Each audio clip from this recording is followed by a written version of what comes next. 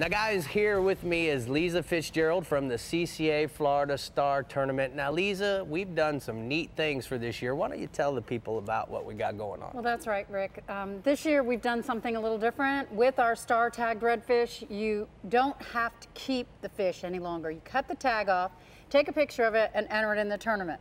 So you don't keep the fish.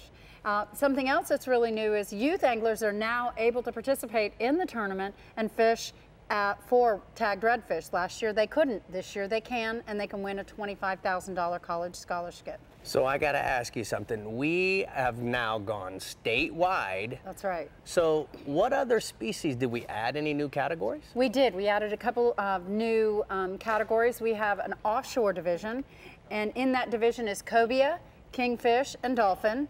And then in the inshore division, we have snook, trout, and sheepshead. So there's 13 total division, and those are untagged fish. It's not the biggest fish that wins. We'll do a random drawing of most of those fish. We also have a lionfish division. So there's a lot of great opportunities for wow. people to win. All right, so let me ask you one other question, Lisa. You know, what are the requirements when you do catch a fish to enter them? Um, in order to enter a fish, you must be a CCA member. You must be registered for the tournament. We have an official measuring device. You take a picture on the official measuring device, which you can pick up at almost any bait and tackle shop, Academy Sports, West Marine, um, and then also enter it in the tournament and you're good to go. So if people want to know more about the tournament, what do they do? Where do they go? www.ccafloridastar.com.